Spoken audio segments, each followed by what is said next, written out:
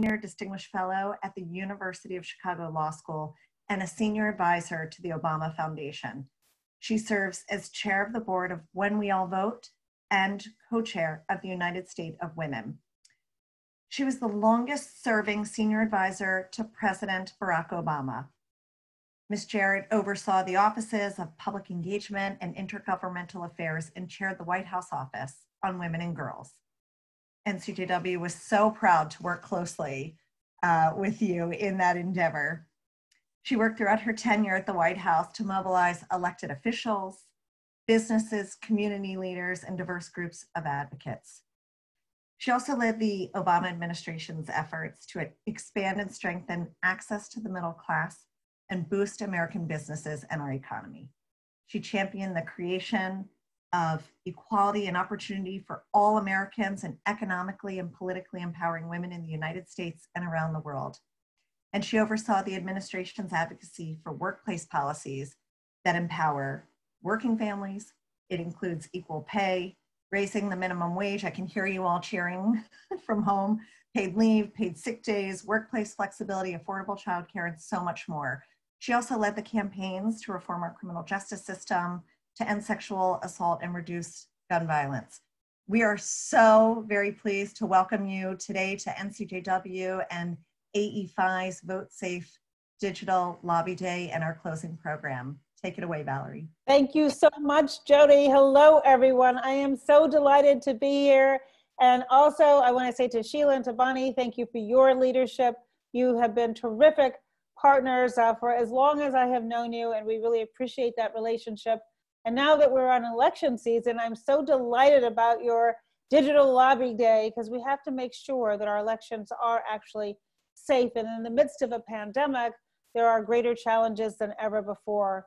And as you know, the United States of Women uh, and uh, When We All Vote formed a partnership together, and you are a member of that partnership, trying to ensure that every woman in our country recognizes our responsibility to get out there and vote and to mobilize the rest of our country to do the same. So uh, I want to say a few words about both organizations and the challenge that lies ahead. So When We All Vote was created, uh, launched by former First Lady Michelle Obama a couple years ago. And our mission is simple. In a nonpartisan way, we want to change the culture in our country around voting. It was so deeply troubling in the, in the last presidential election 100 million eligible Americans didn't vote. And it's troublesome to think that people are so frustrated, disappointed, apathetic, you name the reason, in their government that they don't feel that they need to participate. And we wanted to change the culture, not just around the presidential race, uh, but recognizing that every single election counts and matters. It matters who's your mayor. I was just on a call with Mayor Keisha Lance Bottoms from Atlanta, who's a terrific leader working on this very issue right now in Atlanta. It matters who's let leadership on the ground in the mayor's office, the city council, the prosecutors, the state legislature, the executive branch of, uh, of each level of government, and the legislative branches, which provides a check and a balance. All of these elected officials affect our daily life. And I think, in a sense, this pandemic has laid bare the importance of federal, state, and local quality, competent elected officials. And it's been a civic lesson for many people who didn't even necessarily know their governor's name, but they're paying attention now. They might not have known their mayor's name. They're paying attention now because those leaders are making decisions about when it is safe for us to open up and go back to work and the precautions that we need to take and how we manage through what is, you know, it's a called a nova virus. It's the first time this has ever happened. Uh, and uh, in our lifetime for sure. And so the decisions that are made by these people who are in positions of power have a huge impact on our daily life. And this virus is laying bare to that. But we know that there's more at stake than just how we respond to this virus. And so what we're really looking for is ways of educating and mobilizing folks to appreciate what we have to do to keep our elections safe. And so a few weeks ago, uh, Michelle Obama announced three measures that I know you all support. Number one, we have got to make sure that everyone can vote uh, by mail. And there are those who say, well, it's fraught with potential um, abuse. Well, you know what? The military have always voted by mail. Not a hint of a problem. States like uh, Washington State, Arizona. There are many states and cities around our country that have vote by mail. But it's not just enough to have vote by mail. We have to make it easy. Uh, the, the, uh, there are mayors around the country and governors, for example, that are already sending out um, applications where you can apply to vote by mail. We believe they should also send out the actual ballot with a self-addressed stamp. So it shouldn't cost you any more money when you want to vote uh, than you would if you were just to walk down to your local precinct. Early vote is so important because, in particularly in a pandemic, but even before the pandemic, because you know what, not everybody can show up on election day. A lot of folks have jobs that do not have flexibility to take off in the middle of the week, or you have a sick child, you're sick yourself, you have a exam in school, you forget. There are all kinds of reasons why people can't be expected to vote on one day, and that early vote affords more people the opportunity. We all saw those lines in Wisconsin and how devastating it was to have to choose between your exercising your right to vote and your health. We shouldn't have to choose in our country. All of our elections should be safe, they should be fair, and they should be accessible. And so lengthening that period of early vote will diminish the number of people who actually show up on election day and keep us all safer. Final point, we wanna make sure everybody can register online in this age of technology, it doesn't make sense to have to schlep down to wherever you have to register. Why can't you just go on your computer and register online? It's another way of removing those needless barriers that get in the way um, of our opportunity to exercise that right to vote. So I want to conclude with a huge thank you.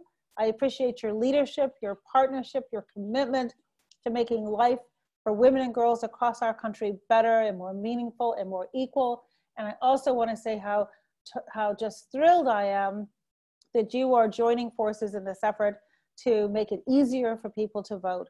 Our voices, the voices of women around this country, are being heard and they are growing louder and louder and louder.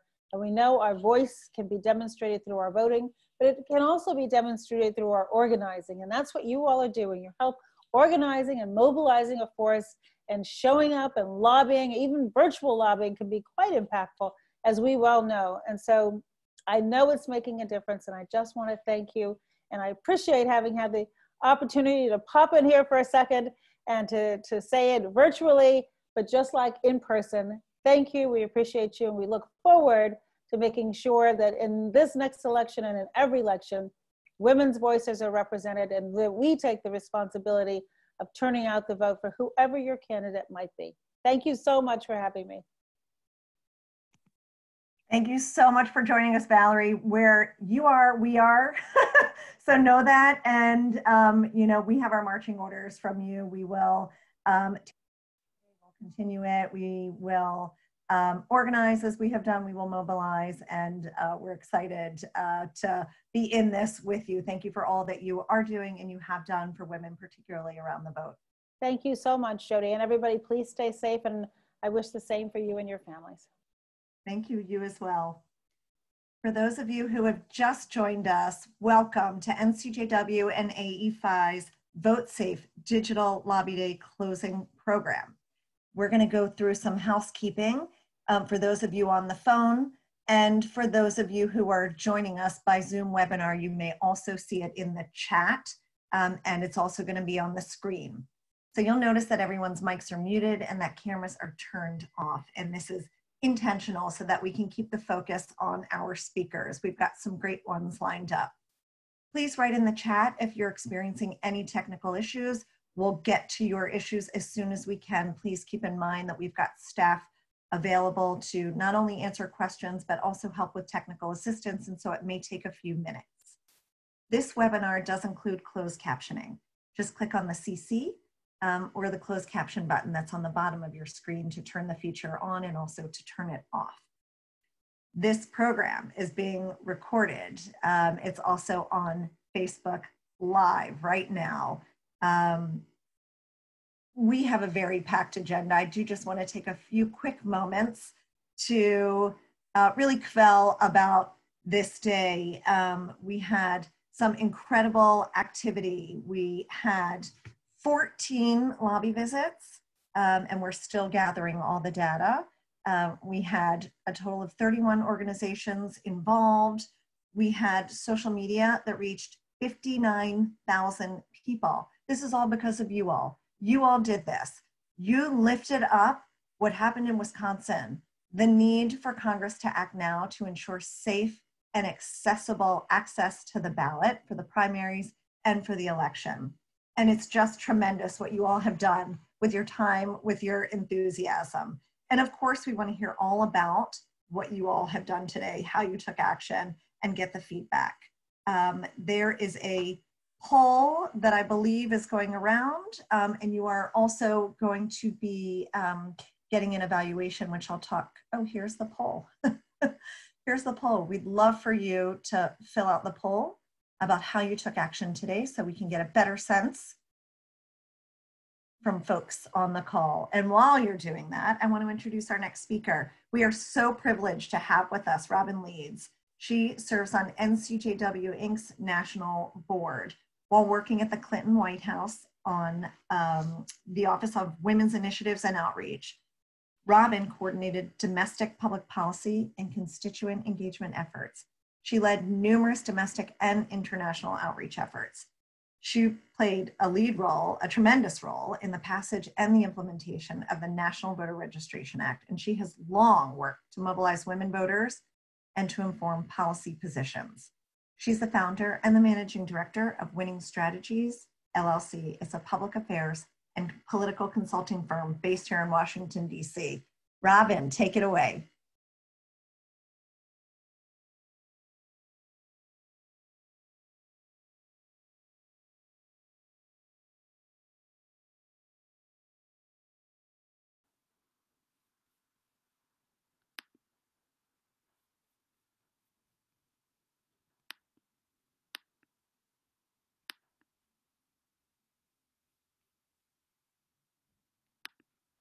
Are we good?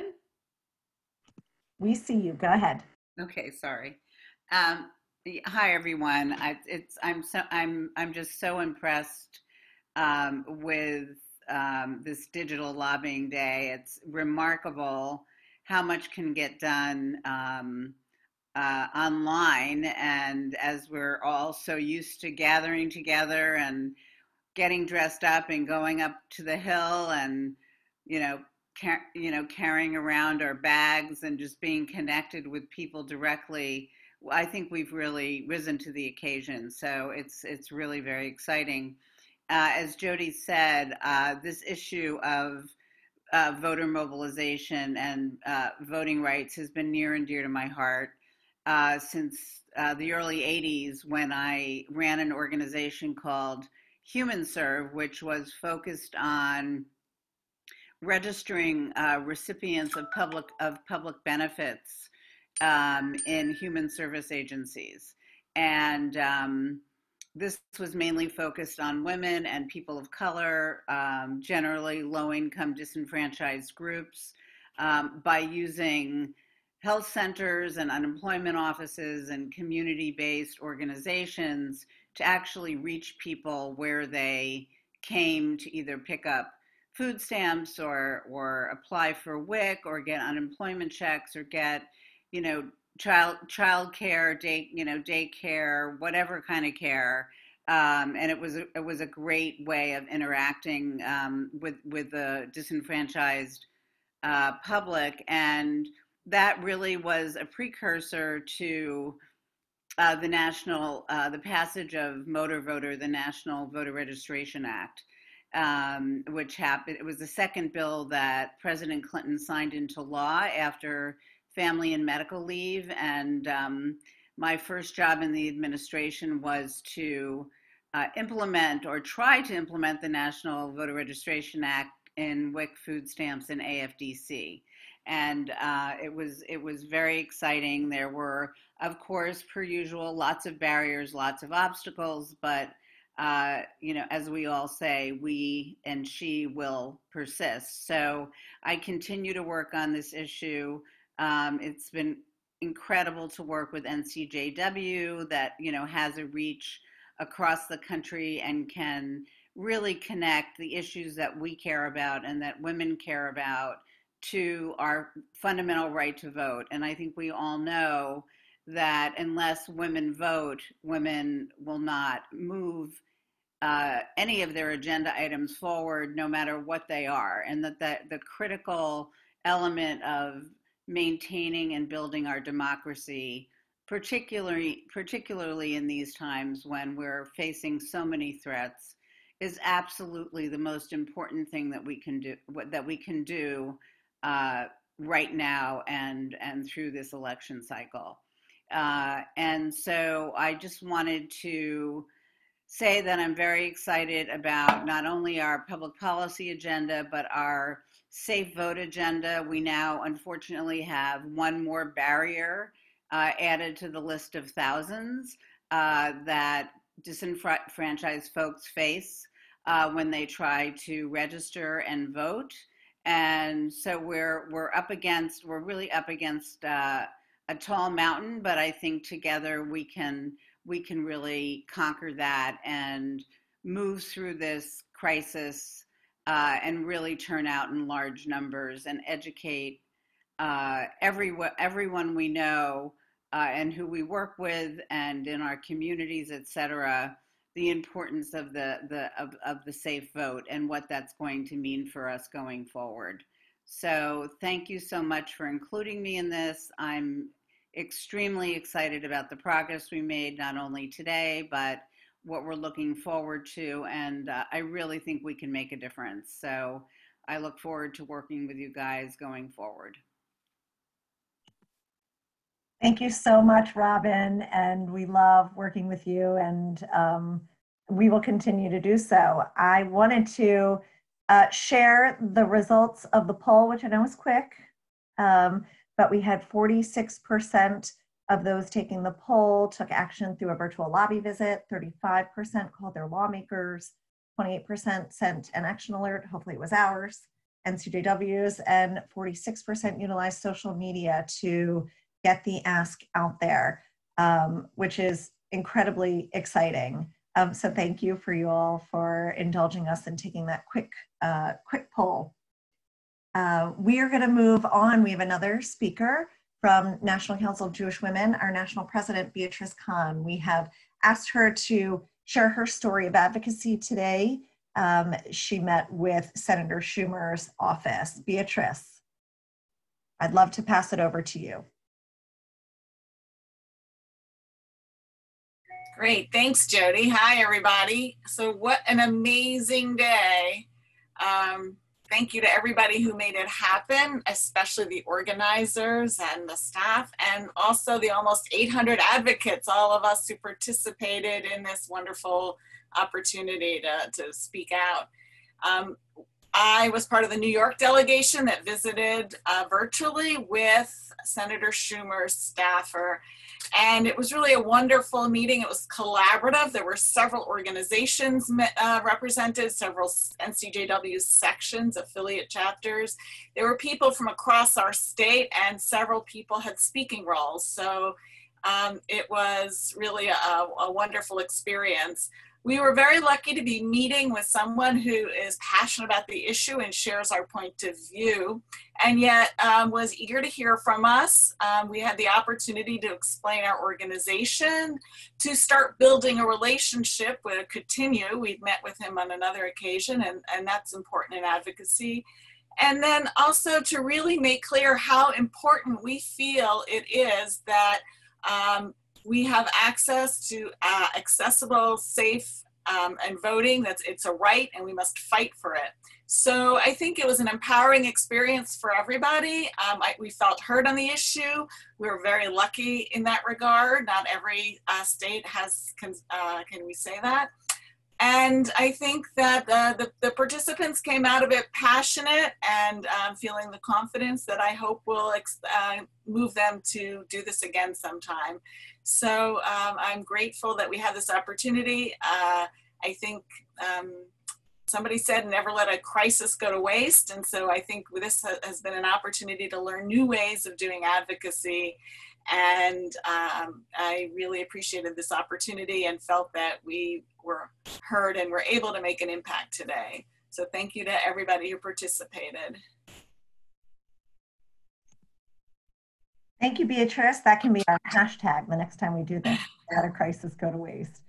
Appreciate that and love seeing in the chat all the feedback on the visits and um, who you met with and who you spoke with. Keep it coming and you'll have an opportunity to tell us a little bit more um, because we'll have an evaluation coming your way. Before we get to that, um, I do want to bring us to a close, but I've got a few more things to say, so I hope that you'll stick with me. Um, we really just can't thank you enough for all the impact that you made today and for uh, raising awareness about this critical issue at this really particularly critical moment. Um, don't forget that had calls and uh, Zoom meetings with staff and or lawmakers to send your thank you notes. It's also a terrific opportunity to clarify something um, that maybe you felt like you didn't get right in your meeting, to share something that you wish you had said, um, and or to include follow-up that you promised. So um, that's also a great opportunity to continue to get your point across. And if you need any language, you can feel free to pull it from the toolkit. Um, in addition, after today, we want to ask you to go further. We want you to lobby your state elected officials for voting reforms. We're going to be sending an email out after um, this program ends. I know I've been teasing it, and it's going to tell you how to take action at the state level. Um, the email will also include a link to an evaluation um, about today's Vote Safe Digital Lobby Day. We ask that you please complete it so that we can not only measure our collective impact, but so that we can improve future efforts. Um, who knows? We might be doing this again sometime soon, um, and we want to learn from today. So completing that evaluation will really help us do better by all of you. Um, you'll also receive some sample social media to celebrate our accomplishments today, and we hope that you'll utilize them on whatever platform is comfortable for you. And of course, we are big on sharing our recordings. So you will get recordings from this morning and from this afternoon. I also want you to be aware of future NCJW events and webinars, and one in particular coming up uh, this Tuesday, May 26th at 4.30 p.m. Eastern Time, fresh off Memorial Day weekend. Um, it is a webinar on the Jewish Case for Abortion Access, discussion, study, and the launch of NCJW's Abortion and Jewish Values Toolkit. Um, many, many, many months in the making. You won't want to miss this. We um, have an incredible lineup, as you can see, NCJW Board, Board Vice President, Rabbi Lori Kaufman, um, Aleph Alliance for Jewish Renewal Executive Director, SooJi Min-Maranda, Rabbi Danya Ruttenberg, our very own, and Rabbi Rachel Timoner. Um, you can see where you can register. You can also go to our website um, if you don't have a chance to get this down and you can register on ncjw.org as well. I really want to thank our speakers this afternoon, Valerie Jarrett, Robin Leeds, Beatrice Kahn. A huge shout out to Sheila Katz, Bonnie Wunsch, and to the incredible NCJW staff. Um, many of you had a chance to work with them today on setting up your lobby visits. Some joined you for your lobby visits, um, but it really uh, took a, a team to help make this happen. And of course, we couldn't have done it without all of you and your willingness to uh, try this out with us. We wish you safety, good health, um, and we hope that you vote safe if your primaries are still coming up. Um, and we urge you to continue the conversation. There are many folks who weren't able to get visits today, and they're set up for tomorrow or next week.